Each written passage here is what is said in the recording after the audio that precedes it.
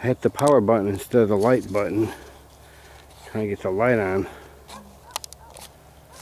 There it is. See, uh, now let's see my finger. There's one down there goes like that. You got one right up here, one right there, one right here. I mean, the, the, the full moon shining right on them, so hopefully it'll come out on here. It's uh, 12 minutes after 8. It's Friday, November 7th, 2014. And this is the spray bastard spraying at night.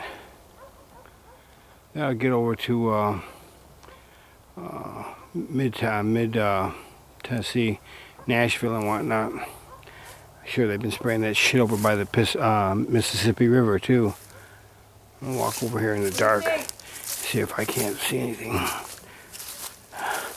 I got one of my new braces on, so walk slow without my cane. So, uh, yeah, you can you can't see them on the, the video, but when I look up, I see it looks like a, a pale white cloud right up there.